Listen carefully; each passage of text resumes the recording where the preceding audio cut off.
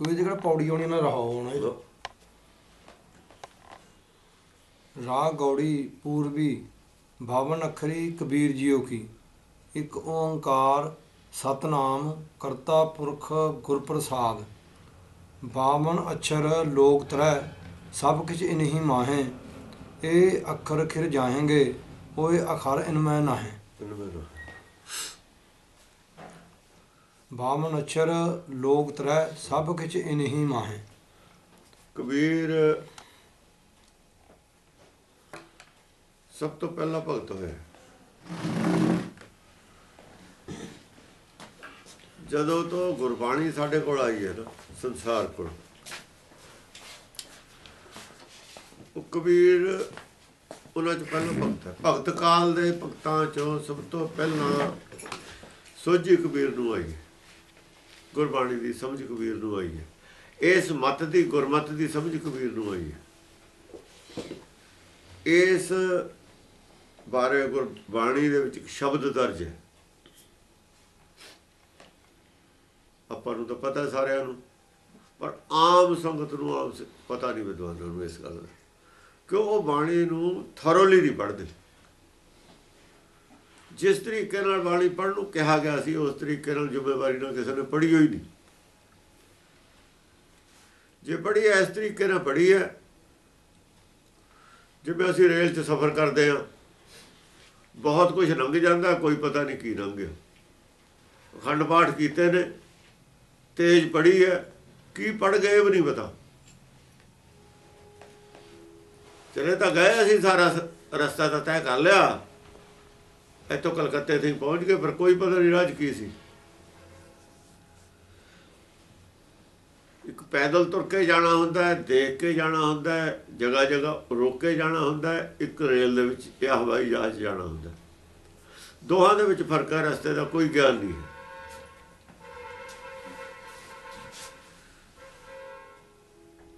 ਭਗਤ ਜੀ ਕਹਿ ਰਹੇ ਸੀ ਕਿ ਗੁਰਦੀਦੀ ਵਸਤ ਕਬੀਰ ਕੋ ਲੈ ਹੋ ਬਸਤ ਸੰਭਾਲ। ਕਬੀਰ ਦੀਨੀ ਸੰਸਾਰ ਕੋ। ਸੰਸਾਰ ਨੂੰ ਕਬੀਰ ਨੇ ਇਹ ਸੋਝੀ ਦਿੱਤੀ ਹੈ, ਇਹ ਵਸਤ ਦਿੱਤੀ ਹੈ। ਇਹ ਰਸਤਾ ਪਹਿਲਾਂ ਕਬੀਰ ਨੇ ਡਾਇਗਨੋਸ ਕੀਤਾ। ਫਿਰ ਸੰਸਾਰ ਨੂੰ ਰਸਤਾ ਦੱਸਿਆ। ਵਰਨਾ ਸਾਰੇ ਉਲਝੇ ਹੋਏ ਤੇ ਪਹਿਲਾਂ।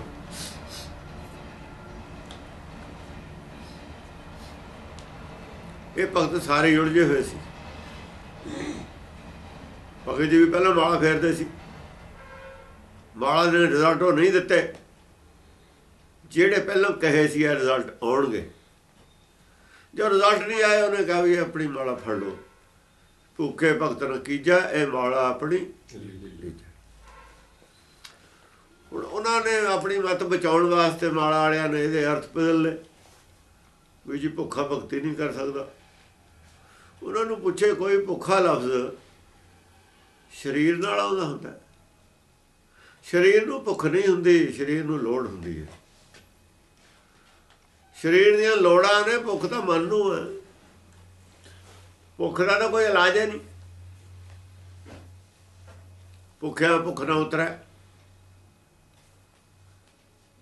ਹੁਣ ਜੇ ਸਰੀਰ ਦੀ ਭੁੱਖ ਹੈ, ਦੇਖ ਭਲਾ ਕਿਵੇਂ ਨਹੀਂ ਉਤਰਦੀ। ਜੇ ਗੱਲ ਸਰੀਰ ਦੀ ਭੁੱਖ ਹੈ, ਕਿਵੇਂ ਨਹੀਂ ਉਤਰਦੀ। ਕਦੀਆਂ ਖਾ ਲੂਗਾ ਰੋਟੀਆਂ। ਜਾਨਵਰ ਕਿੰਨੇ ਕੁ ਪੱਠੇ ਖਾ ਲੂਗਾ?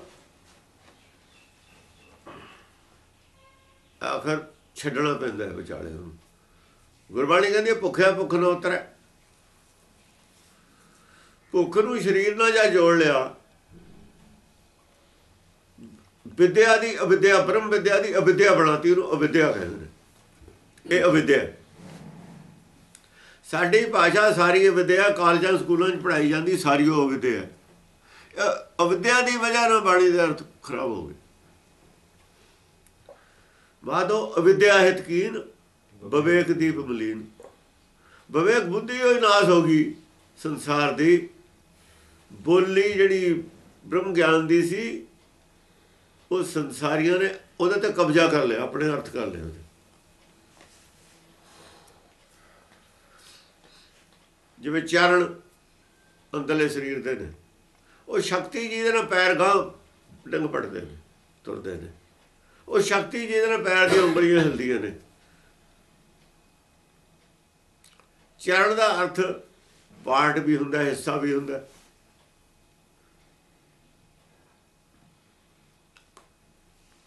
ਚਰਨ ਦਾ ਮਤਲਬ ਹਿੱਸਾ ਵੀ ਹੈ। ਅਸੀਂ ਜਿਹੜੇ ਕਦਮ ਅਸਲ ਦੇ ਵਿੱਚ ਪੁੱਟਦੇ ਹਾਂ, ਉਹਨੂੰ ਚਰਨ ਕਹਿੰਦੇ ਨੇ।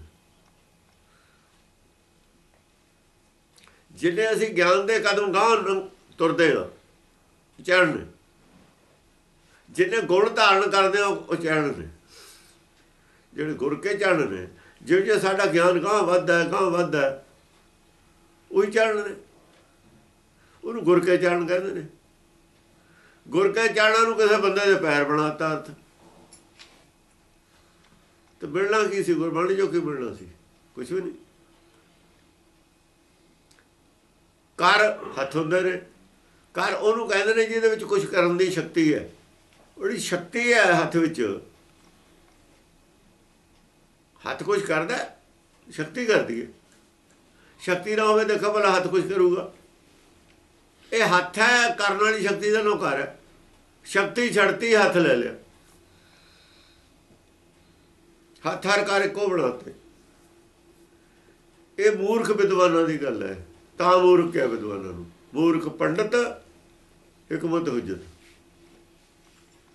ਵਿਦਵਾਨ ਮਹਾਮੂਰਖ ਨੇ। ਸਾਰੇ ਹੁਣ ਵਾਲੇ ਵੀ, ਪਹਿਲਾਂ ਵੀ। ਵਿਦਵਾਨ ਹੁੰਦਾ ਹੀ ਮੂਰਖ ਹੈ। ਜੇ ਵਿਦਵਾਨ ਮੂਰਖ ਨਾ ਹੁੰਦੇ, ਗੁਰਬਾਣੀ ਦਾ ਅਰਥ ਲੱਭ ਲੈਂਦੇ। ਔਰ ਫਿਰ ਵਿਦਵਾਨ ਫਿਰ ਦੂਆ ਝਗੜਾ ਕਰਦੇ ਨੇ। ਮੂਰਖ ਝਗੜਾ ਕਰਦੇ ਹੁੰਦੇ ਨੇ। ਗੁਰਮੁਖ, ਗੁਰਸਿੱਖ ਇਕੱਠੇ ਬੈਠ ਕੇ ਵਿਚਾਰ ਕਰਦੇ ਹੁੰਦੇ ਨੇ। ਵਿਦਵਾਨ ਆਪਣਾ ਸਟੈਂਡ ਨਹੀਂ ਛੱਡਦੇ। ਚਾਹੇ ਉਹ ਮੰਨ ਵੀ ਜਾਣ ਵੀ ਅਸੀਂ ਗਲਤ ਹਾਂ ਫੇਰ ਵੀ ਨਹੀਂ ਸਟੈਂਡ ਛੱਡਦੇ। ਮੰਨਣ ਦੇ ਬਾਵਜੂਦ ਯਾਨੀ ਜਾ- ਸਮਝ ਲੈਣ ਦੇ ਬਾਵਜੂਦ ਵੀ ਮੈਂ ਗਲਤ ਹਾਂ ਫਿਰ ਵੀ ਆਪਣਾ ਸਟੈਂਡ ਨਹੀਂ ਛੱਡਦੇ। ਉਹ ਵਿਦਵਾਨ ਨੇ।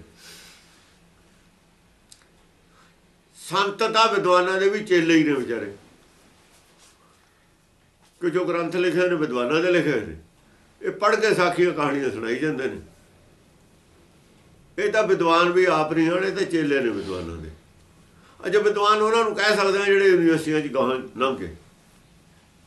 ਉਸ ਲੈਵਲ ਦੇ ਆਦਮੀ ਨੂੰ ਵਿਦਵਾਨ ਕਿਹਾ ਜਾ ਸਕਦਾ ਮਾਮੂਲੀ ਪੜ੍ਹੇ ਲਿਖੇ ਨੂੰ ਕਹਦਾ ਵਿਦਵਾਨ ਕਹਿੰਦੇ ਜਿਹੜੇ ਟੌਪ ਤੇ ਖੜੇ ਨੇ, ਉਹਨਾਂ ਨੂੰ ਵਿਦਵਾਨ ਕਿਹਾ ਜਾਂਦਾ ਪੰਡਤ ਟੌਪ ਤੇ ਖੜਾ ਸੀ, ਉਹਨੂੰ ਵਿਦਵਾਨ ਕਿਹਾ ਜਿਹੜਾ ਪੜਾਉਂਦਾ ਹੈ, ਬਾਹਮਣ ਗੁਰੂ ਹੈ, ਜਗਤ ਕਾ। ਭਗਤਨ ਦਾ ਗੁਰੂ ਹੈ ਭਗਤਾਂ ਨੇ ਕਿਉਂ ਨਹੀਂ ਮੰਨਿਆ ਕਿਉਂਕਿ ਮੂਰਖ ਹੈ। ਉਹਦੀ ਤਾਂ ਵਿਵੇਕ ਦੀਪ ਮਲੀਨ ਹੋਇਆ ਹੈ। ਦੂਏ ਦਾ ਮਲੀਨ ਕਰ ਦੂਗਾ ਇਹ ਪੰਡਤ ਦੇ ਅਰਥ ਕੀਤੇ ਹੋਏ ਸਾਡੇ ਕੋਲ। ਪੰਡਤਾਂ ਤੋਂ ਅਰਥ ਕਰਾ- ਕਰਾਉਣ ਦਾ ਮਤਲਬ ਕੀ ਸੀ?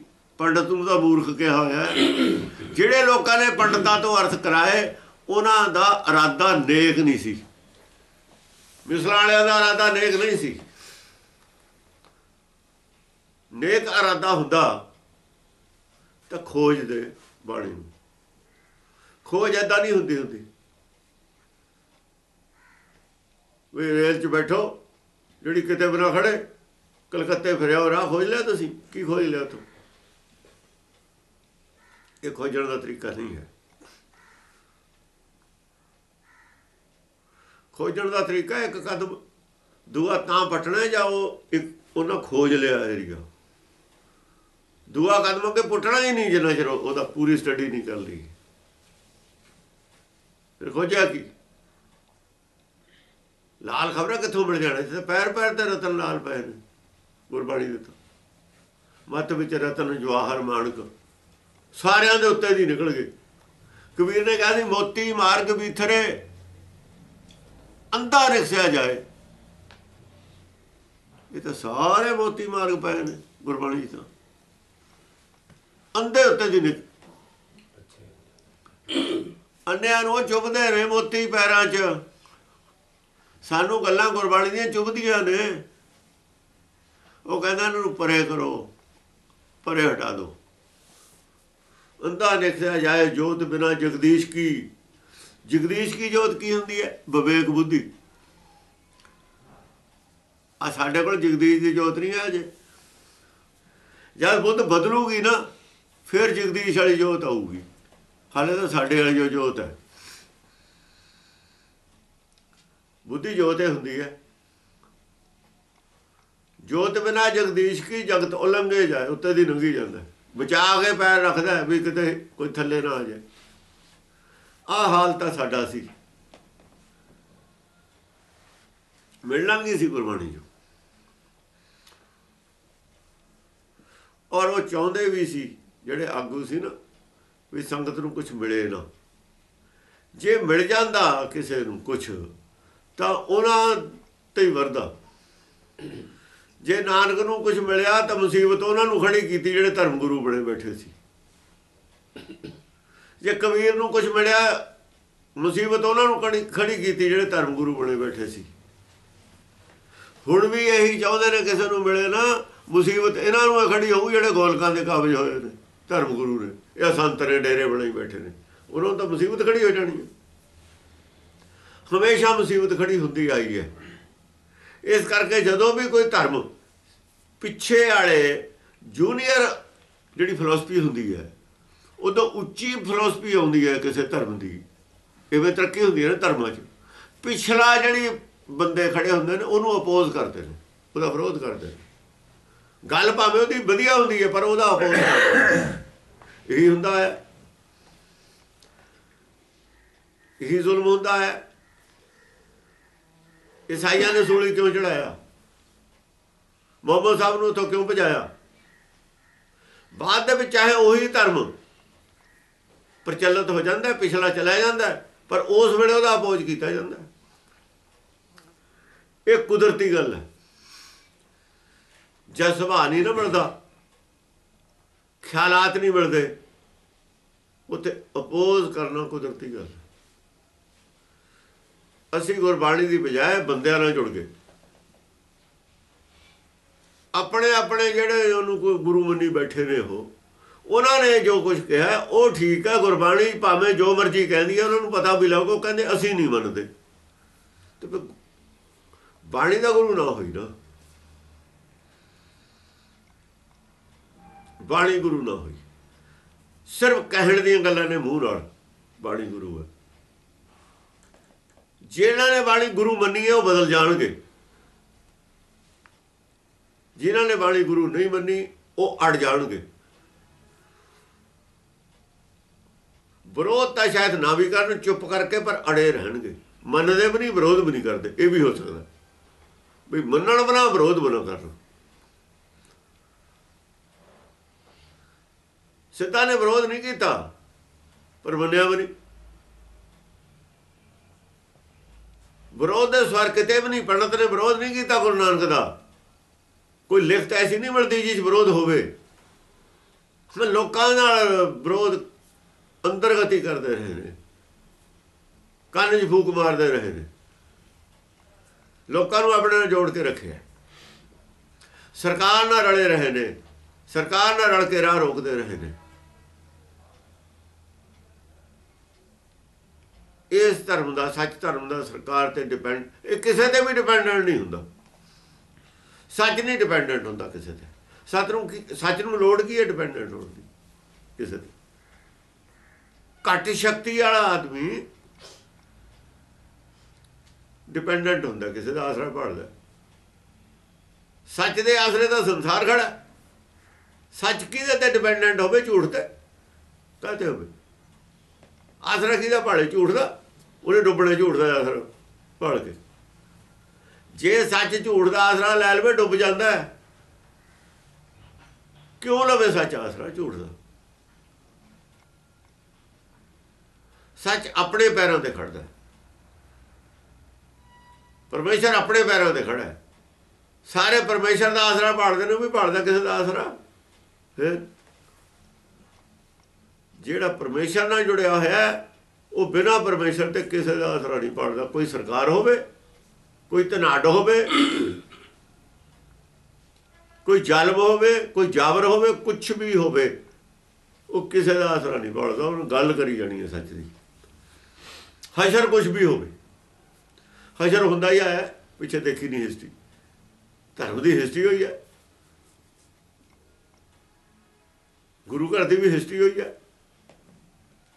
ਕਿਹੜਾ ਕਿਸੇ ਦਾ ਨੁਕਸਾਨ ਕਰਦੇ ਸੀ? ਇਹ ਤਾਂ ਬੁਰੇ ਦਾ ਭਲਾ ਕਰਨ ਵਾਲੇ ਸੀ, ਫਰੀਦਾ ਬੁਰੇ ਦਾ ਭਲਾ ਕਰ ਪੰ- ਵਿੱਚ ਰੱਖਿਆ ਹੈ ਸ਼ਲੋਕ ਤੇ ਬੁਰੇ ਦਾ ਭਲਾ ਸਰਕਾਰਾਂ ਨਹੀਂ ਕਰਦੀਆਂ। ਸਰਕਾਰਾਂ ਬੁਰੇ ਦਾ ਭਲਾ ਨਹੀਂ ਕਰਦੀਆਂ। ਤੇ ਬੁਰੇ ਦਾ ਵੀ ਭਲਾ ਕਰਨ ਵਾਲਾ, ਤਾਂ ਸਰਕਾਰ ਨੂੰ ਖਤਰਾ ਪੈਦਾ ਹੋ ਜੂਗਾ ਇਹ ਤੋਂ। ਸਾਰੇ ਲੋਕ ਜੁੜ ਜਾਣਗੇ ਉਹਦੇ ਨਾਲ। ਇਸ ਕਰਕੇ ਸੱਚ ਦਾ ਮੂੰਹ ਸਰਕਾਰਾਂ ਬੰਦ ਕਰਦੀਆਂ ਹੀ ਹੁੰਦੀਆਂ ਨੇ। ਐਲਾਨੀਆਂ ਨਾ ਕਰਨ ਤਾਂ ਕਿਸੇ ਨਾ ਕਿਸੇ ਤਰੀਕੇ ਨਾਲ ਬੰਦ ਕਰਾਉਂਦੀਆਂ ਨੇ। ਸਾਹਮਣੇ ਆ ਕੇ ਨਾ ਕਰਨ ਕੋਈ ਐਸੇ ਹਥਕੰਡੇ ਵਰਤਦੀਆਂ ਨੇ। ਭਗਤ ਕਬੀਰ ਨੇ ਕਹੀ ਸੀ, ਜਾਣੀ ਜਾਣੀ ਰੇ ਰਾਜਾ ਰਾਮ ਕੀ ਕਹਾਣੀ? ਉਹ ਕਹਿੰਦਾ, ਮੈਂ ਨਹੀਂ ਜਾਣੀ, ਪਹਿਲਾਂ ਬਹੁਤ ਲੋਕ ਬਥੇਰਾ ਨੇ ਜਾਣੀ ਹੈ। ਔਰ ਗਾਹਾਂ ਜਾਣਦੇ ਵੀ ਰਹਿਣਗੇ। ਕਿਵੇਂ ਜਾਣੀਏ ਮੈਂ ਅੰਤਰ ਗਿਆਨ ਮੇਰੇ ਅੰਦਰ ਚਾਨਣ ਹੋ ਗਿਆ। ਗਿਆਨ ਦਾ। ਜੋਤ ਪ੍ਰਗਾਸਾ। ਬੁੱਧੀ ਚ ਪ੍ਰਗਾਸ ਹੋ ਗਿਆ। ਜੋਤ ਦਾ ਮਤਲਬ ਬੁੱਧੀ ਹੈ। ਬੁੱਧੀ ਚ ਚਾਨਣ ਹੋ ਗਿਆ। ਜੋਤ ਪ੍ਰਗਾਸਾ। ਜਦੋਂ ਜੋਤ ਪ੍ਰਗਾਸਾ ਹੁੰਦਾ ਕਿਨ ਗੁਰਮੁਖ ਫਿਰ ਲੈ ਜਾਣੀ? ਕੋਈ ਵੀ ਗੁਰਮੁਖ ਹੋਵੇ, ਸਾਰੇ ਹੀ ਜਾਣ ਲੈਂਦੇ। ਜਿਹੜਾ ਗੁਰਮੁਖ ਹੋ ਜਾਊਗਾ, ਉਹ ਜਾਣ ਲੈਂਦਾ। ਜਿਹੜਾ ਬੀਸ ਬਿਸਵੇ ਗੁਰਬਾਣੀ ਨੂੰ ਮੰਨੂਗਾ, ਮੰਨ ਕੇ ਚੱਲੂਗਾ, ਉਹ ਗੁਰਮੁਖ ਹੈ, ਉਹ ਸਾਰੇ ਹੀ ਜਾਣ ਲੈਣਗੇ।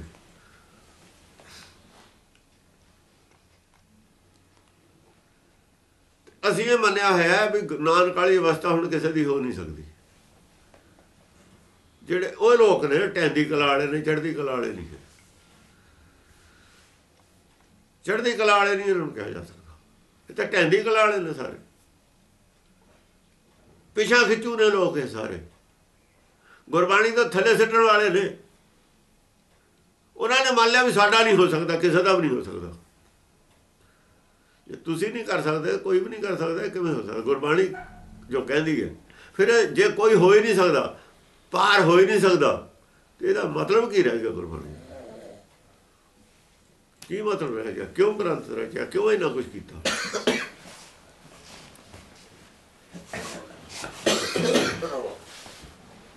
ਕੀ ਸਾਰਾ ਨਿਸਬਤ ਕੀਤਾ ਗੁਰੂਆਂ ਨੇ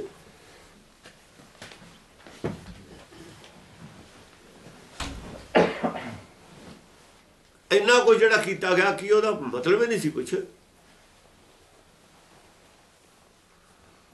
ਇਹ ਢੈਂਦੀ ਕਲਾ ਵਾਲੇ ਲੋਕ ਨੇ ਜਿਹੜੇ ਇਹ ਧਰਮ ਦਾ ਨਾਸ਼ ਕਰਨ ਵਾਲੇ ਹੁੰਦੇ ਨੇ। ਕਮ ਸੇ ਕਮ ਇਸ ਧਰਮ ਦਾ ਨਾਸ਼ ਜ਼ਰੂਰ ਕਰਨਗੇ ਉਹ। ਦੇਖੋ- ਦੇਖੋ, ਪੱਟ ਗੁਰੂ ਘਰ ਦੇ ਸੇਵਕ ਨੇ।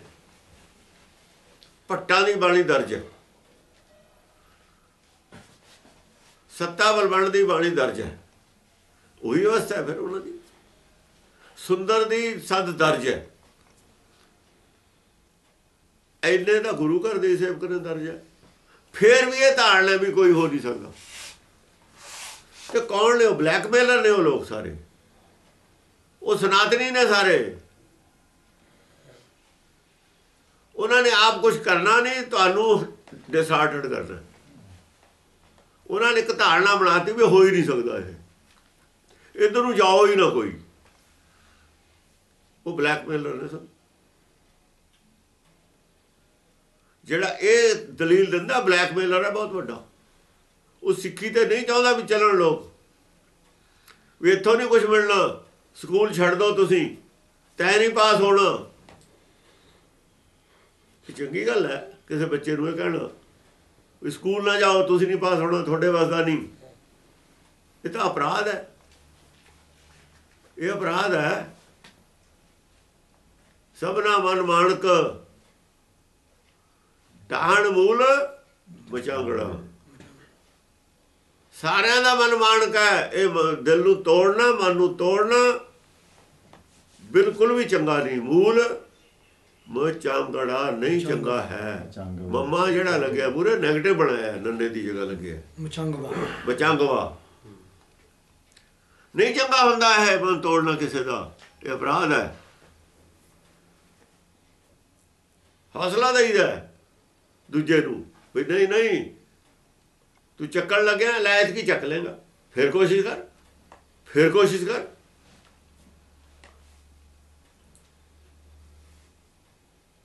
ਉਹ King Bruce and the spider English ਦੀ ਕਹਾਣੀ ਹੈ ਨਾ। ਇੱਕ ਚਿੜੀ ਹੈ ਚੜਦੀ ਹੈ, ਦੀਵਾਰ ਤੇ ਗਿਰ ਜਾਂਦੀ ਹੈ ਚੜਦੀ ਹੈ, ਗਿਰ ਜਾਂਦੀ ਹੈ 17 16 ਵਾਰ ਗਿਰੀ 17ਵੀਂ ਵਾਰ ਚੜ ਗਈ। ਉਹ ਵੀ 16 ਵਾਰ ਲੜਾਈ ਹਾਰਿਆ ਤਾਂ 17ਵੀਂ ਵਾਰ ਕਹਿੰਦਾ ਜੇ ਇਹ ਕੀੜੀ ਤੇ ਨਹੀਂ ਛੱਡੀ, ਤੂੰ ਕਾਹਤੇ ਛੱਡਦਾ ਦਿਲ? 17ਵੀਂ ਵਾਰ ਹਮਲਾ ਕੀਤਾ, ਜਿੱਤ ਗਿਆ।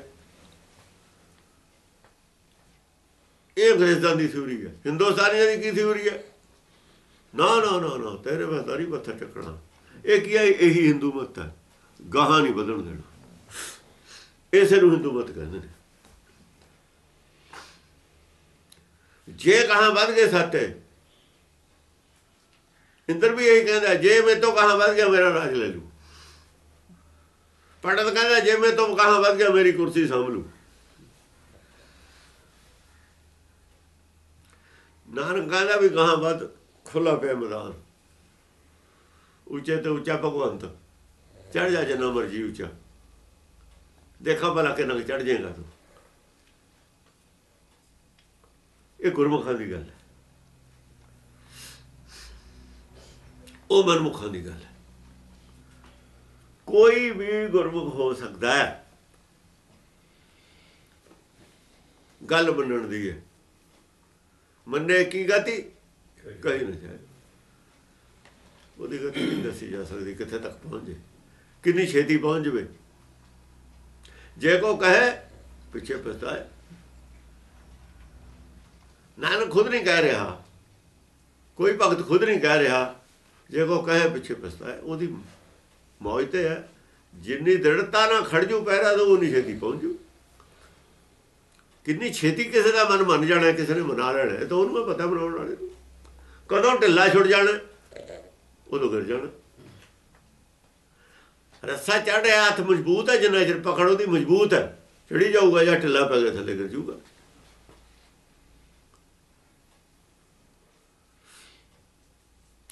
ਜੇ ਰਾਜਾ ਰਾਮ ਕੀ ਕਹਾਣੀ ਕਬੀਰ ਨੇ ਜਾਣੀ ਕਿਹਾ ਤਾਂ ਉਹਨਾਂ ਚਿਰ ਜਾਣੀ ਕੌਣ ਮੰਨੂਗਾ, ਜਿੰਨਾ ਚਿਰ ਬਿਆਨ ਨਹੀਂ ਕਰੂਗਾ, ਕਹਾਣੀ ਨੂੰ ਦੱਸੂਗਾ ਨਹੀਂ। ਜਿਹੜਾ ਕਹਿੰਦਾ ਮੈਂ ਜਾਣੀ ਹੈ, ਤਾਂ ਉਹਨੇ ਦੱਸੀ ਵੀ ਹੈ। ਇਹ ਸਾਦਾ ਉਹਨੂੰ ਸੰਤਾ ਹੋਣੀ ਹੈ ਜਾਣੀ ਤਾਂ ਕਹਿਤਾ ਦੱਸਣੀ ਹੈ ਨਹੀਂ। ਜੇ ਜਾਣੀ ਹੈ, ਤਾਂ ਦੱਸੀ ਹੈ। ਸਭ ਤੋਂ ਪਹਿਲੀ ਬਾਣੀ ਭਗਤ ਕਬੀਰ ਦੀ ਹੈ, ਕੋਈ ਬਾਣੀ ਬਾਕੀ ਸ਼ਬਦ ਨੇ ਸਾਰਿਆਂ ਦੇ। ਕਬੀਰ ਸਭ ਤੋਂ ਪਹਿਲਾ ਭਗਤ ਹੈ, ਉਹਨੇ ਇੱਕ ਬਾਣੀ ਲਿਖੀ ਹੈ। ਅਸਲ 'ਚ ਬਾਣੀ ਨਹੀਂ, ਕਹਾਣੀ ਲਿਖੀ ਹੈ। ਕਹਾਣੀ ਸ਼ਬਦ 'ਚ ਨਹੀਂ ਬਿਆਨ ਕੀਤੀ ਜਾ ਸਕਦੀ। ਸ਼ਬਦ ਵਿੱਚ ਇਕੱਲੇ 'ਚ ਕਹਾਣੀ ਨਹੀਂ ਬਿਆਨ ਕੀਤੀ ਜਾ ਸਕਦੀ। ਜਿੰਨੀਆਂ ਬਾਣੀਆਂ ਨੇ, ਕਹਾਣੀ ਉਹਦੇ 'ਚ ਬਿਆਨ ਕੀਤੀ ਹੋਈ। ਆਨੰਦ ਸਾਹਿਬ ਦੇ ਵਿੱਚ ਆਨੰਦ ਦੀ ਕਹਾਣੀ ਹੈ ਸਾਰੀ। ਸੁਖਮਨੀ ਸਾਹਿਬ ਚ ਮਨ ਦੇ ਵਿੱਚ ਸੁੱਖ ਕਿਵੇਂ ਪੈਦਾ ਹੋਊ, ਸਾਰੀ ਕਹਾਣੀ ਹੈ। ਆਨੰਦ ਔਰ ਸੁੱਖ ਇੱਕੋ ਹੀ ਗੱਲ ਹੈ। ਮਨ ਵਿੱਚ ਸੁੱਖ ਹੋਣਾ, ਮਨ ਆਨੰਦ ਦੇ ਵਿੱਚ ਹੋਣਾ, ਗੱਲ ਤਾਂ ਇੱਕੋ ਹੀ ਹੈ। ਇੱਕੋ ਹੀ ਕਹਾਣੀ ਹੈ ਫਿਰ। ਫ਼ਰਕ ਨਹੀਂ ਕਹਾਣੀ ਤੁਹਾਨੂੰ ਲੱਗਦੀ ਹੋਊ, ਚਾਹੇ ਸੁਖਮਨੀ ਸਾਹਿਬ ਹੋਰ ਹੈ ਤੇ ਆਨੰਦ ਸਾਹਿਬ ਹੋਰ ਹੈ। ਨਾ ਜ਼ਰੂਰ ਬਦਲਿਆ ਹੋਇਆ, ਗੱਲ ਇੱਕੋ ਹੀ ਹੈ। ਕੋਈ ਫ਼ਰਕ ਨਹੀਂ। ਇਸ ਕਰਕੇ ਕਹਿੰਦੇ ਬਾਣੀ ਨੂੰ ਕੋਈ ਆ ਕਹਾਣੀ ਵੀ ਕੋਈ ਆ ਕਬੀਰ ਵਾਲੀ ਵੀ ਕੋਈ ਕਹਾਣੀ ਹੈ। ਸਭ ਤੋਂ ਛੋਟੀ ਸਭ ਤੋਂ ਸਟੀਕ ਗੱਲ ਜਿਹੜੀ ਕਹੀ ਹੈ ਇਹ ਆਪਾਂ ਪੜ੍ਹਦੇ ਹਾਂ ਕੀ ਕਹੀ ਬਾਵਨ ਅੱਖਰ ਲੋਕ ਤਰੈ ਸਭ ਕਿਛ ਇਨਹੀ ਮਾਹੇ। ਪਹਿਲੀ ਗੱਲ ਇਹ ਹੈ ਜਿੰਨੇ ਵੀ ਸਿਮਰਤ ਸ਼ਾਸਤਰ ਗ੍ਰੰਥ ਲਿਖੇ ਹੋਏ ਨੇ ਉਹਨਾਂ 'ਚ 52 ਹੀ ਅੱਖਰ ਵਾਰ-ਵਾਰ ਆਈ ਜਾਂਦੇ ਨੇ। ਇਹੀ ਅੱਖਰ ਹੋਣੇ ਨੇ ਮੇਰੇ ਸਾਹਮਣੇ ਤਿੰਨ ਲੋਕ ਦਾ ਗਿਆਨ ਕਰਾਉਣਾ ਤਿੰਨ ਲੋਕ ਦਾ ਗਿਆਨ ਬਹੁਤ ਵੱਡੀ ਗੱਲ ਹੁੰਦੀ ਹੈ। ਚੌਥੇ ਲੋਕ ਦਾ ਨਾ ਕਿਸੇ ਨੇ ਇਸੇ ਕਿਹਾ ਨਾ ਕਹਾਂ ਨੂੰ ਕੋਈ ਕਹੂਗਾ। ਚੌਥੇ ਲੋਕ ਦਾ ਗਿਆਨ ਨਹੀਂ ਹੁੰਦਾ। ਚੌਥੇ ਲੋਕ ਦਾ ਗਿਆਨ ਕੀ ਹੁੰਦਾ? ਚੌਥੇ ਲੋਕ ਤਾਂ ਇੱਕੋ ਹੀ ਚੀਜ਼ ਹੈ। ਦੂਜੀ ਹੈ ਹੀ ਨਹੀਂ ਉੱਥੇ। ਬੜਾ ਛੋਟਾ ਹੈ ਹੀ ਨਹੀਂ। ਉੱਥੇ ਦਾ ਨਹੀਂ ਕੁਝ ਗਿਆਨ ਦੀ ਗੱਲ। ਗਿਆਨ ਸਿਰਫ ਤਿੰਨ ਲੋਕਾਂ 'ਚ ਲੋੜ ਹੈ, ਜਿੱਥੋਂ ਅਸੀਂ ਛੁੱਟਣਾ, ਨਿਕਲਣਾ, ਬਾਹਰ ਫਸੇ ਹੋਏ ਜਿੱਥੇ। ਨਿਕਲਣਾ ਕਿਵੇਂ ਹੈ? ਗਿਆਨ ਇਹਦੀ ਲੋੜ ਹੈ। ਇਹ ਫਸਿਆ ਹੋਇਆ ਹੈ ਭਰਮ ਜਾਲ 'ਚ ਚੋਂ ਛੁਟਕਾਰਾ ਕਿਵੇਂ ਮਿਲਣਾ? ਫਸਦਾ ਗਿਆ। ਨਿਕਲਣਾ ਕਿਵੇਂ ਇੱਥੇ ਗਿਆਨ ਦੀ ਲੋੜ ਹੈ। ਕਿਉਂ ਕਿਵੇਂ ਫਸ ਗਿਆ? ਕਿਉਂ ਕਰ ਵਾਧਾ? ਸਰਪਣੀ ਖਾਦਾ ਕਿਵੇਂ ਫਸ ਗਿਆ? ਕਿਵੇਂ ਮਾਇਆ ਨੇ ਇਹਨੂੰ ਡੰਗ ਮਾਰਤਾ, ਨਿਗਲ ਲਿਆ? ਕਿਉਂ ਕਰ ਖੋਇਆ, ਕਿਉਂ ਕਰ ਲਾਦਾ ਹੁਣ ਚਾਰੇ ਸਵਾਲ ਇਹ ਨੇ। ਇਹਨਾਂ ਸਵਾਲਾਂ ਦੇ ਜਿਹੜੇ ਜਵਾਬ ਨੇ, ਇਹੀ ਤੇ ਲੋਕ ਦਾ ਗਿਆਨ ਇਹ ਚਾਰੇ ਸਵਾਲਾਂ ਦਾ ਜਵਾਬ ਜੇ ਤੇ ਲੋਕ ਦਾ ਗਿਆਨ ਹੈ। ਬੰਨਣ ਦਾ ਜਦ ਪਿਆ ਜਦ ਕੋ ਸਰੀਰ ਹੈ ਨਹੀਂ ਸੀ, ਸੱਚਖੰਡ ਸੀ। ਬੰਨਣ ਚ ਕੱਦਾ ਪਿਆ ਹੋਇਆ। ਜਦ ਕੋ ਸਰੀਰ ਚ ਹੈ ਨਹੀਂ ਸੀ ਤ੍ਰਿਤੀਏ ਵਿੱਚ ਕੁਛ ਪਿਆ ਦੋ ਤੇੜਾ। ਤ੍ਰੇਤੇ ਯੁੱਗ ਦੇ ਸ਼ੁਰੂ ਚ ਬੰਨਣ ਚ ਪਿਆ ਹੋਇਆ ਬੰਨਣ ਚ ਪਿਆ ਤਾਂ ਤ੍ਰੇਤਾ ਆਇਆ। ਤੇੜ ਪਈ ਸੱਚ ਨਾਲ ਹੋਈਦੀ ਇਹਦੀ ਸੱਚ ਖੰਡ ਚੋਂ ਤੇੜ ਪੈ ਗਈ। ਆ ਜਿਹੜਾ ਝੂਠ ਖੰਡ ਹੈ ਨਾ ਭਵ ਸਾਗਰ ਜਿਹਾ ਬਣਾਇਆ ਹੈ, ਇਹ ਸੱਚਖੰਡ ਨੂੰ ਇਹਦੀ ਤੇੜ ਹੈ। ਵੱਖਰਾ ਨਾ ਹੈ ਘਾਟ ਬਣਿਆ ਨਾ ਸਹਿ ਸੁਨ ਅਲੱਗ ਦੇਸ਼ ਬਣਿਆ ਨਾ ਇਹ। ਅਸਲ ਚ ਪਰਦੇਸ ਹੈ ਦੇ ਛੱਡ ਕੇ ਪਰਦੇਸ ਨੂੰ ਆ ਗਿਆ ਤੇ ਬਾਉਂਡਰੀ ਬਦਲ ਗਈ ਨਾ, ਤੇੜ ਪੈ ਗਈ ਨਾ, ਪਹਿਲਾਂ ਤਾਂ ਇੱਕੋ ਹੀ ਸੀ ਸੱਚਖੰਡ, ਦੂਆ ਹੈ ਹੀ ਨਹੀਂ ਸੀ।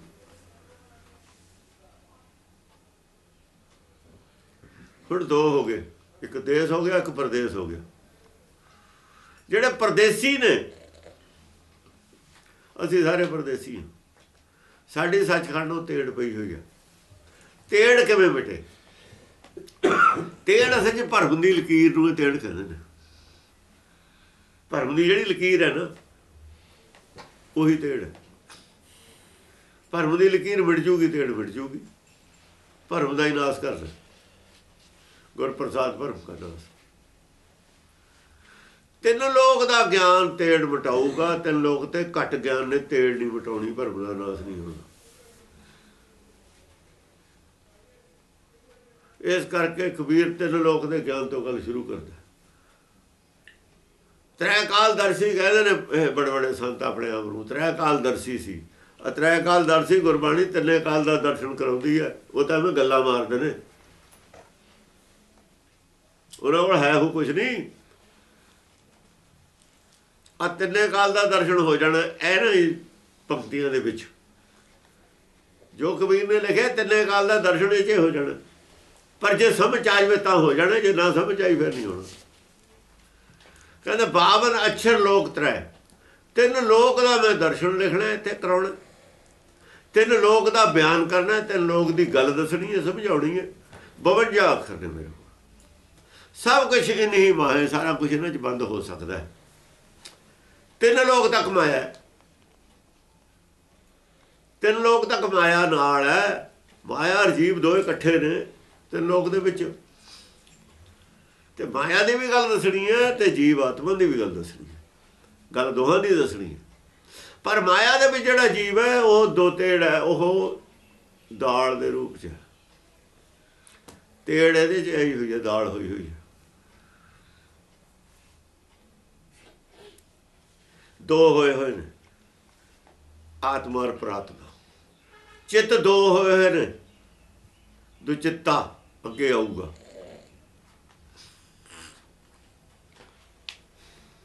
ਬਾਵਨ ਅਛਰ ਲੋਕ ਤਰਾ ਸਭ ਕੁਝ ਇਨੇ ਹੀ ਮਾਰ ਸਭ ਕੁਝ ਇਹਨਾਂ 52 ਅੱਖਰਾਂ ਦੇ ਵਿੱਚ ਹੀ ਮੈਂ ਦੱਸਣਾ ਪਰ ਇਹ ਅੱਖਰ ਖਿਰ ਜਾਏਂਗੇ ਉਹ ਅਖਾਰੇ ਨੂੰ ਮੈਂ ਨਾ ਹੈ। ਖਿਰ ਜਾਣਗੇ ਜਿਹਦੀ ਮੈਂ ਗੱਲ ਦੱਸਣੀ ਹੈ ਉਹ ਅੱਖਰਾਂ ਦੇ ਬਾਹਰ ਹੈ ਫਿਰ ਵੀ। ਮੈਂ ਆਤਮਾ ਦੀ ਗੱਲ ਕਰਨੀ ਆਤਮ ਗਿਆਨ ਕਰਾਉਣਾ ਹੈ। ਤਿੰਨਾਂ ਲੋਕਾਂ 'ਚ ਮਾਇਆ ਹਰ ਵਕਤ ਨਹੀਂ ਹੁੰਦੀ।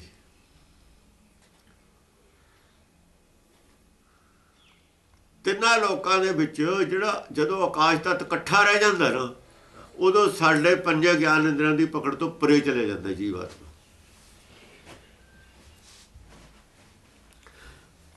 ਹੁਣ ਮੈਂ ਹੋਰ ਤਰੀਕੇ ਨਾਲ ਗੱਲ ਇਹਨੂੰ ਕਹਿਣਾ। ਜਿਹੜੀ ਆਤਮਾ ਸਰੀਰ ਚੋਂ ਨਿਕਲਦੀ ਹੈ, ਉਹ ਸਾਡੇ ਗਿਆਨ ਇੰਦਰੀਆਂ 'ਚ ਹੈ ਪਰ ਮਾਇਆ ਉਹਦੇ ਨਾਲ ਲੱਗੀ ਹੋਈ ਹੈ। ਮਾਇਆ 'ਚ ਲਿਪਟਾ ਉਹ ਉਦੋਂ ਸਾਡੇ ਪਕੜ ਤੋਂ ਪਰੇ ਹੈ ਉਹ। ਉਹ ਤ੍ਰੇਤੇ ਦੀ ਅਵਸਥਾ ਸਾਡੀ ਪਕੜ 'ਚ ਨਹੀਂ ਹੈ। ਆਤਮਾ ਤਾਂ ਹੁਣ ਵੀ ਸਾਡੀ ਪਕੜ 'ਚ ਨਹੀਂ ਹੈ। ਪਰ ਸਰੀਰ ਕਰਕੇ ਸਾਨੂੰ ਲੱਗਦਾ ਸਰੀਰ ਕਰਕੇ ਸਾਨੂੰ ਲੱਗਦਾ ਹੈ ਵੀ ਇਹ ਜਿਉਂਦਾ ਇਹ ਹੈਗੀ ਆਤਮਾ ਜਾਂ ਨਹੀਂ ਬੱਚੇ ਦਾ ਵੀ ਪਤਾ ਲੱਗ ਜਾਂਦਾ ਜਿਉਂਦੇ ਦਾ। ਡਾਕਟਰ ਦੱਸ ਦਿੰਦੇ ਨੇ, ਗਰਭ ਦੇ ਵਿੱਚ ਦੱਸ ਦਿੰਦੇ ਨੇ, ਜਿਉਂਦਾ ਹੈ ਮਰ ਗਿਆ। ਮਰਦੀ ਸਾਰੇ ਉਹਦਾ ਜਿਹੜਾ ਹੈਗਾ ਸਰੀਰ ਗਲਣਾ ਸ਼ੁਰੂ ਹੋ ਜਾਂਦਾ। ਜੇ ਹੋਰ ਨਾ ਪਤਾ ਲੱਗੇ, ਜਿੰਨਾ ਚਿਰ ਆਤਮਾ ਨੂੰ ਗਲ ਨਹੀਂ ਦਿੰਦੀ। ਸਰੀਰ ਨੂੰ ਗਲਣ ਤੇ ਆਤਮਾ ਰੋਕਦੀ ਹੈ। ਆਤਮਾ ਨਿਕਲਦੀ ਸਾਰੇ ਸਰੀਰ ਗੜਨਾ ਸ਼ੁਰੂ ਹੋ ਜਾਂਦਾ ਆਪੇ। ਇਹ ਆਤਮਾ ਦੀ ਸ਼ਕਤੀ ਨਾਲ ਇਹ ਕਰਦਾ ਨਹੀਂ। ਹੈ ਬਦਬੂ ਛੱਡ ਜਾਂਦਾ। ਡੈਡ ਬਾਡੀ ਬਦਬੂ ਨਹੀਂ ਛੱਡ ਜਾਂਦੀ। ਹੁਣ ਕਿਉਂ ਨਹੀਂ ਛੱਡਦੀ?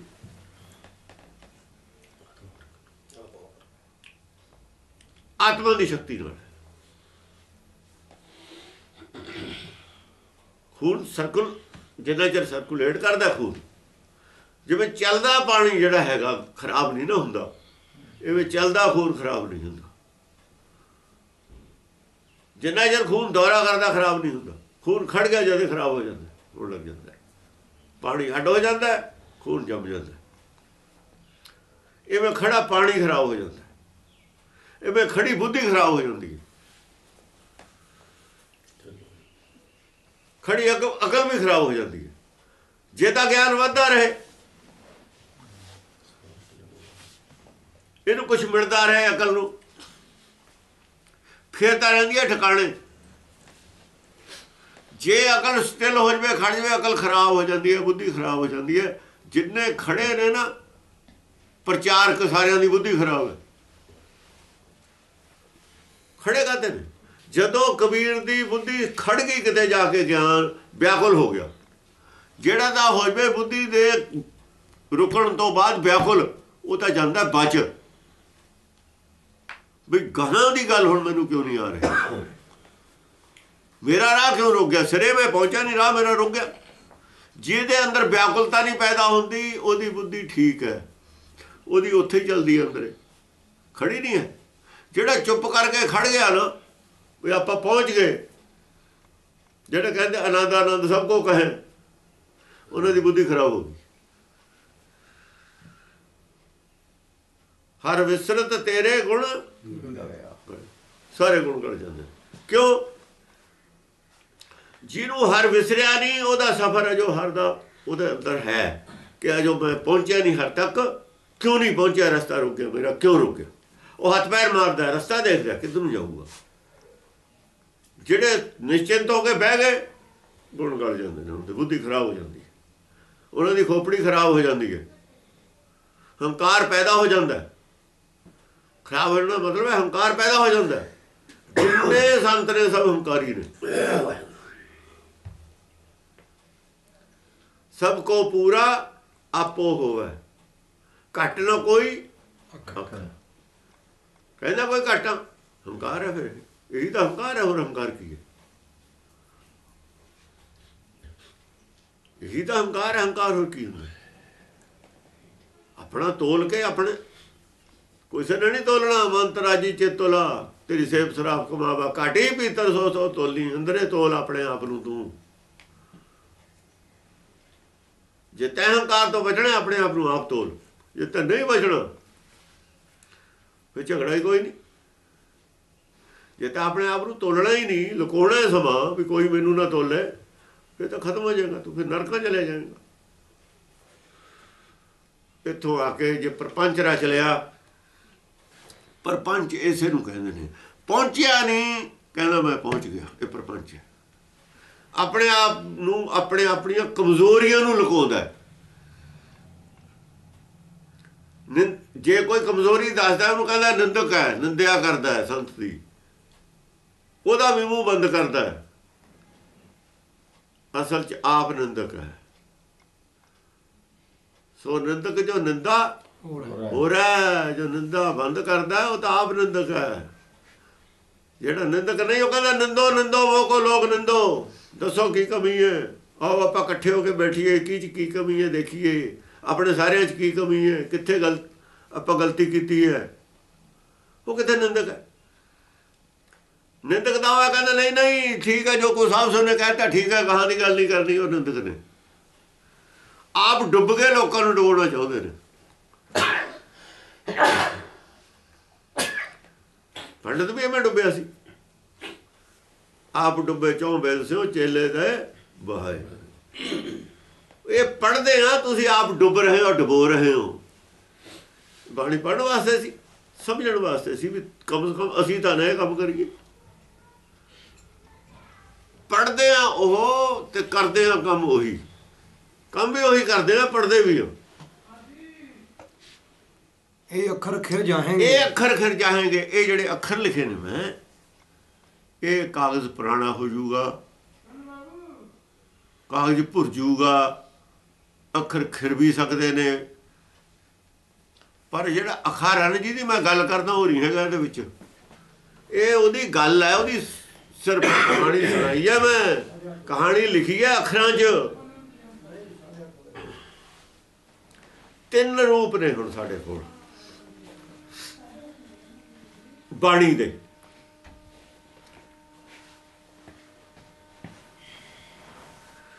ਇੱਕ ਤਾਂ ਬਾਣੀ ਹੈ, ਉਹ ਤਾਂ ਹੈ ਅੰਤਰਾਤਮਾ ਦੀ ਆਵਾਜ਼, ਕਹ ਲੋ ਉਹ ਤਾਂ ਬਿਨਾਂ ਕੰਨਾਂ ਤੇ ਸੁਣਨ ਵਾਲੀ। ਹੁਣ ਗੁਰਬਾਣੀ ਆ ਗਈ ਗੁਰਬਾਣੀ ਬਾਕੀ। ਗੁਰਬਾਣੀ ਕਹਿੰਦੇ ਨੇ ਉਸ ਬਾਣੀ ਦਾ ਗਿਆਨ। ਗੁਰ ਬਾਣੀ ਬਾਣੀ ਦਾ ਗਿਆਨ ਜਿਹੜਾ ਹੈ ਉਹਨੂੰ ਗੁਰਬਾਣੀ ਕਹਿੰਦੇ ਨੇ। ਬਾਣੀ ਨਹੀਂ ਹੈ ਉਹ, ਗੁਰਬਾਣੀ ਹੈ। ਬਾਣੀ ਬਾਰੇ ਗਿਆਨ ਹੈ। ਬਾਣੀ ਨੇ ਜੋ ਕੁਝ ਕਿਹਾ ਉਹ ਦੱਸਿਆ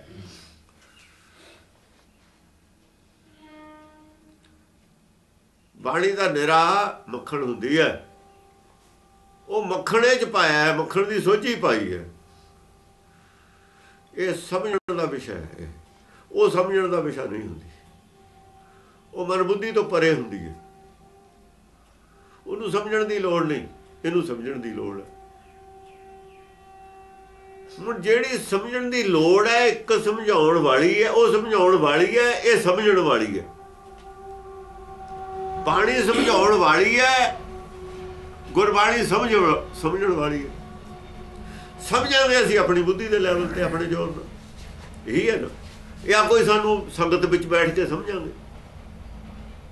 ਜਾਂ ਫਿਰ ਪਰਮੇਸ਼ਰ ਨੂੰ ਤਾਂ ਅਸੀਂ ਅਰਦਾਸ ਕਰਾਂਗੇ ਸਾਨੂੰ ਬੁੱਧ ਦੇ, ਹੋਰ ਐਕਸਟਰਾ ਉਹਦੀ ਮਿਹਰ ਹੋਵੇ, ਨਾਲ ਐਕਸਟਰਾ ਇਹ ਹੋ- ਪਰ ਸਮਝਣੀ ਤਾਂ ਫਿਰ ਵੀ ਅਸੀਂ ਹੋਈ ਨਾ। ਉਹ ਬਾਣੀ ਸਮਝਾਉਣ ਵਾਲੀ ਹੈ, ਇਹ ਸਮਝਣ ਵਾਲੀ ਚੀਜ਼।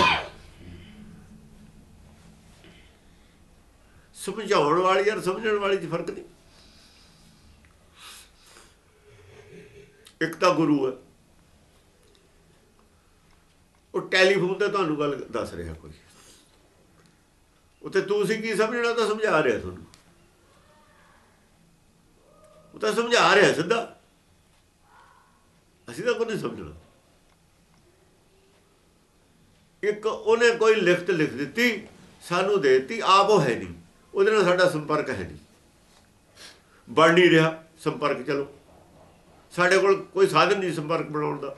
ਹੁਣ ਉਹ ਲਿਖਤ ਨੂੰ ਸਮਝਣਾ ਹੋਰ ਗੱਲ ਹੈ, ਸਿੱਧਾ ਡਾਇਰੈਕਟ ਜਾਂ ਉਹ ਸਮਝਾਉਣਾ ਹੋਰ ਇੱਕ ਬੱਚੇ ਨੇ ਕਿਤਾਬਾਂ ਆਪ ਪੜ੍ਹਨੀਆਂ ਨੇ, ਇੱਕ ਕਿਸੇ ਟੀਚਰ ਨੇ ਪੜਾਉਣੀਆਂ ਨੇ।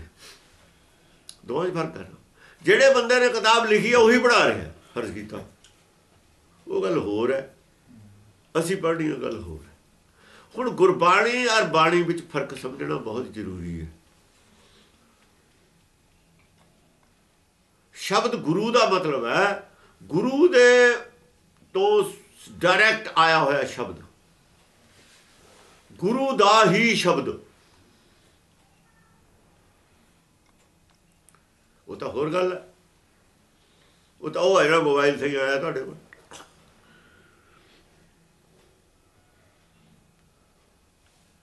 ਇਹ ਉਹਨੇ ਲਿਖ ਕੇ ਭੇਜਿਆ ਕਿਤੋਂ? ਲਿਖਾਇਆ ਕਿਸੇ ਤੋਂ, ਹੋਰ ਤੋਂ ਕਿਸੇ ਨੂੰ ਆਇਆ ਸੀ, ਉਹਨੇ ਕਹਾਂ ਲਿਖ ਦਿੱਤਾ? ਕਿਸੇ ਨੂੰ ਆਇਆ ਸੀ ਮੈਸੇਜ ਉਹਨੇ ਲਿਖ ਦਿੱਤਾ। ਭਾਸ਼ਾ ਵੀ ਸਾਡੇ ਵਾਲੀ ਹੈ ਨਹੀਂ। ਬੋਲੀ ਵੀ ਸਾਡੇ ਵਾਲੀ ਹੈ ਨਹੀਂ। ਕਿਉਂ ਨਹੀਂ ਸਾਡੇ ਵਾਲੀ ਬੋਲੀ? ਸਾਡੇ ਵਾਲੀ ਬੋਲੀ, ਸਾਡੇ ਗਿਆਨ ਇੰਦਰੀਆਂ ਦੇ ਵਿੱਚ ਜੋ ਪਕੜ ਚਾਹੁੰਦਾ, ਉਹਦੇ ਤੇ ਬਸ ਉਹਦੇ ਵਾਸਤੇ ਹੀ ਹੈ ਬੋਲੀ ਸਾਡੇ ਵਾਲੀ। ਅਸੀਂ ਆਦਮੀ ਸਰੀਰ ਨੂੰ ਕਹਿੰਦੇ ਹਾਂ।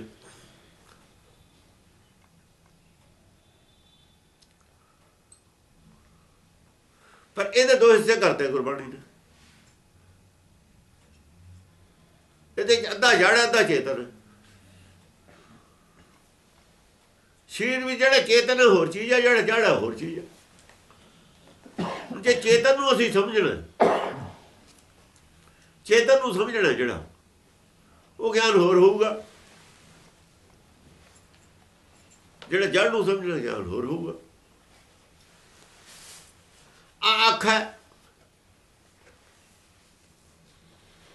ਆਪਾਂ ਕਹਿੰਦੇ ਹਾਂ, ਅੱਖ, ਅੱਖਾਂ ਨਾਲ ਦੇਖ ਕੇ ਚੱਲ, ਅੱਖਾਂ ਨਾਲ।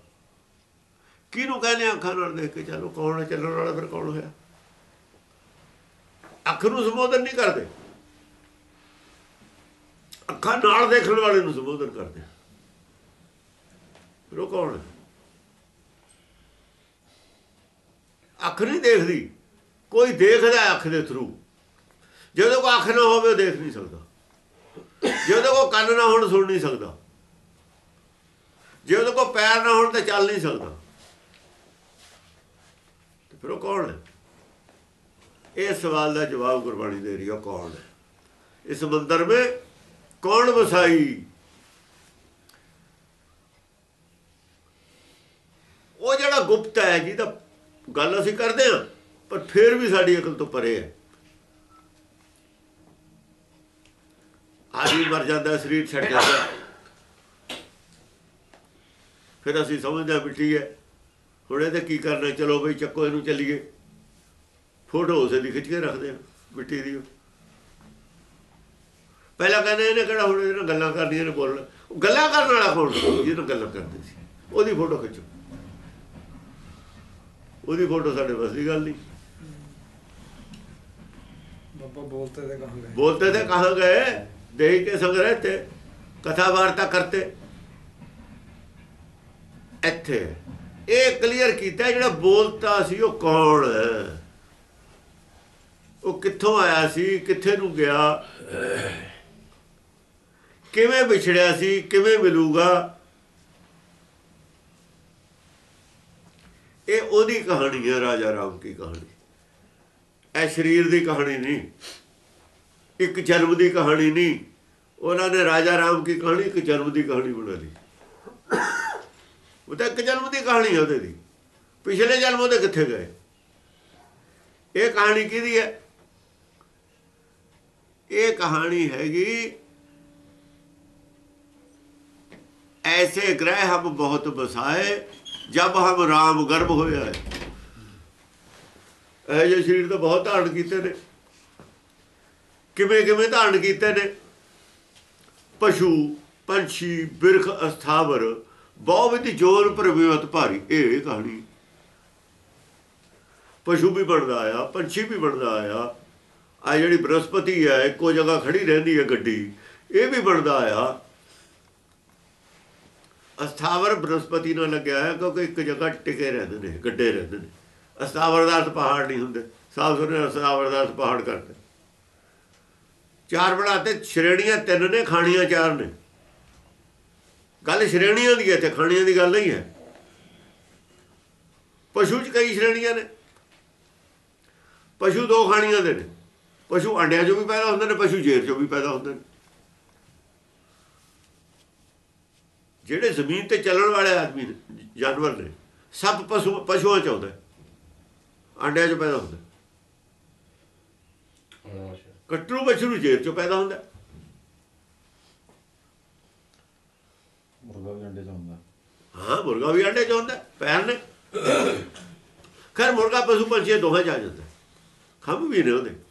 ਸ਼੍ਰੇਣੀ ਆ ਗਿਆ। ਸ਼੍ਰੇਣੀ ਹੈ। ਪਰ ਮੱਛੀ ਹੈ ਪਸ਼ੂਆਂ ਜਾਊਗੀ। ਪੰਛੀਆਂ 'ਚ ਨਹੀਂ ਆਉਂਦੀ। ਅੰਡੇ ਤੇ ਪੈਦਾ ਹੁੰਦੀ ਅੰਡੇ 'ਚ ਪੈਦਾ ਹੁੰਦੀ। ਬਹੁਤ ਸ਼੍ਰੇਣੀ ਇਹ ਖਾਣੀਆਂ ਦੋ ਨੇ ਸ਼੍ਰੇਣੀ ਇੱਕ ਹੈ।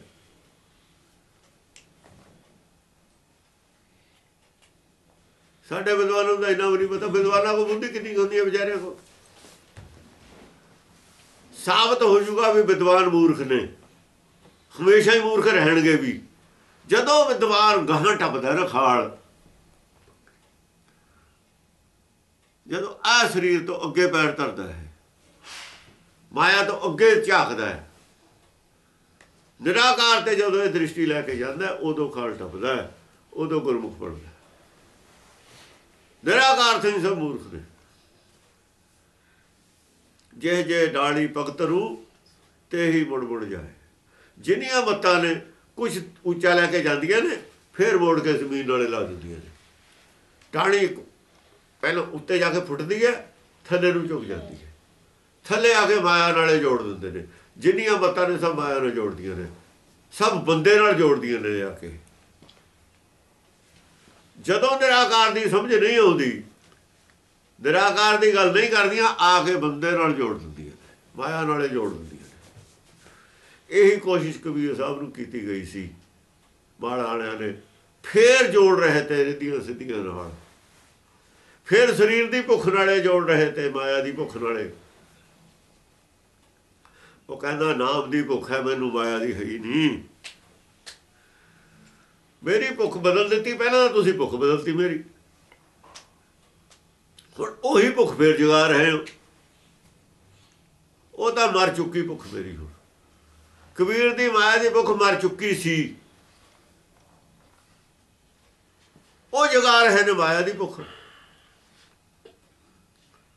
ਉਹ ਕਹਿੰਦਾ, ਇਹਦਾ ਮਤਲਬ ਤੁਹਾਡੇ ਚ ਭੁੱਖ ਹੈ ਤੁਹਾਡੀ ਨਹੀਂ ਮਰੀ ਮੈਨੂੰ ਨਹੀਂ ਪਤਾ ਵੀ ਤੁਹਾਡੇ ਅੰਦਰ ਭੁੱਖ ਹੈ, ਤੁਸੀਂ ਲਕੋਈ ਬੈਠੇ ਹੋ। ਮੈਂ ਤਾਂ ਸਮਝਦਾ ਤੁਹਾਡੇ ਅੰਦਰ ਮਾਇਆ ਦੀ ਭੁੱਖ ਹੈ ਨਹੀਂ ਮੈਨੂੰ ਹੁਣ ਪਤਾ ਲੱਗਿਆ ਵੀ ਤੁਸੀਂ ਅਸਲ 'ਚ ਮਾਇਆ ਦੀ ਭੁੱਖ ਤੇ ਆਗੀ ਹੋਈ ਨਹੀਂ, ਮਾਇਆ ਦੀ ਭੁੱਖ ਜਿਉਂਦੀ ਤੇ ਉਹ ਹੈ, ਲਕੋਈ ਹੋਈ ਹੈ ਤੁਹਾਡੀ। ਇਹ ਸਾਰੇ ਸੰਤ ਜਿੰਨੇ ਨੇ, ਜਿੰਨੇ ਡੇਰੇਦਾਰ ਨੇ, ਇਹਨਾਂ ਦੀ ਮਾਇਆ ਦੀ ਭੁੱਖ ਲਕੋਈ ਹੋਈ ਹੈ। ਪਰ ਮੂਰਖ ਅੰਧ ਕੋਰਾਂ ਵਾਸਤੇ ਲਕੋਈ ਹੋਈ ਹੈ, ਗੁਰਮੁਖਾਂ ਨੇ ਬੁੱਝ ਲਈ। ਗੁਰਮੁਖਾਂ ਨੂੰ ਖੋਟੇ ਕਰੇ ਦੀ ਪਛਾਣ ਹੁੰਦੀ ਹੈ। ਜਿਹੜੇ ਮੂਰਖ ਅੰਧ ਕੋਰ ਨੇ, ਅਸੰਖ, ਉਹਨਾਂ ਵਾਸਤੇ ਤਾਂ ਮਹਾਪੁਰਸ਼ ਹੈਗੇ। ਗੁਰਮੁਖ ਵਾਸਤੇ ਬਨਾਰਸ ਕੇ ਠੱਗ ਨੇ ਉਹ ਇਹ ਖੋਟੇ ਖਰੇ ਦੀ ਪਛਾਣ ਉਹਨਾਂ ਨੂੰ ਹੈ ਨਾ। ਜਿਹੜੇ ਚੋਰ ਹਰਾਮ ਖੋਰ ਨੇ, ਦੋਏ ਕੈਟਾਗਰੀਆਂ ਨੇ ਸਿਰਫ ਗੁਰੂ ਨਾਨਕ ਨੇ ਦਸੀਆਂ। ਸਾਰੇ ਘੁੰਮ ਕੇ ਹਿੰਦੁਸਤਾਨ ਚ। ਅਵਰਮਾ ਤੱਕ ਜਿੱਥੇ ਜਿੱਥੇ ਵੀ ਉਹ ਗਏ ਨੇ, ਲੰਕਾ ਵਗੈਰਾ, ਮੱਕੇ ਤੇ। ਕਿ ਅਸੰਖ ਮੂਰਖ ਅੰਧਕੋਰ ਅਸੰਖ ਚੋਰ ਹਰਾਮਖੋਰ ਜਿਹੜੇ ਧਾਰਮਿਕ ਆਗੂ ਨੇ ਚੋਰ ਹਰਾਮਖੋਰ ਨੇ, ਜਿਹੜੇ ਉਹਨਾਂ ਦੇ ਮਗਰ ਲੱਗੇ ਫਿਰਦੇ ਨੇ ਵਿਚਾਰੇ ਮੂਰਖ ਅੰਧਕੋਰ ਨੇ?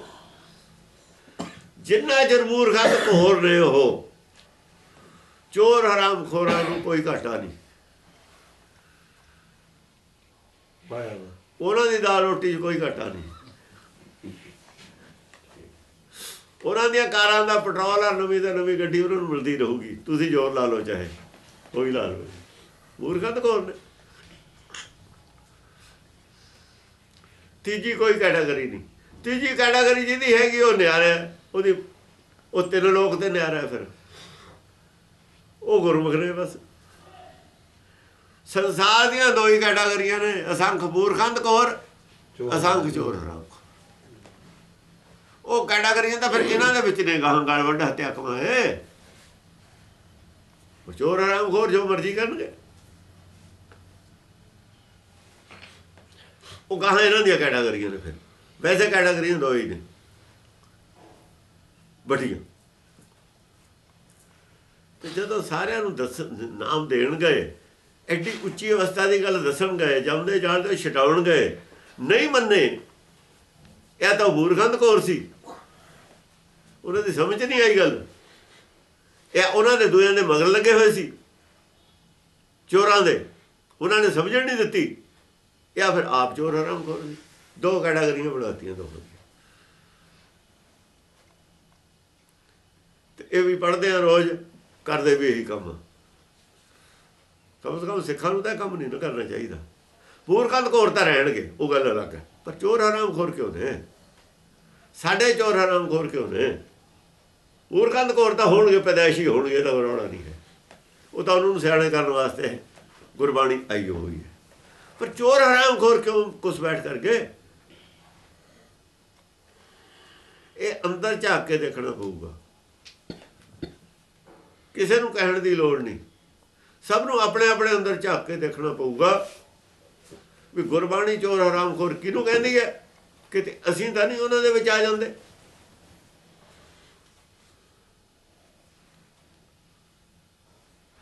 ਗੁਰੂ ਦੀ ਗੱਲ ਹੈ ਸਾਰਿਆਂ ਵਾਸਤੇ ਸਿੱਖਾਂ ਵਾਸਤੇ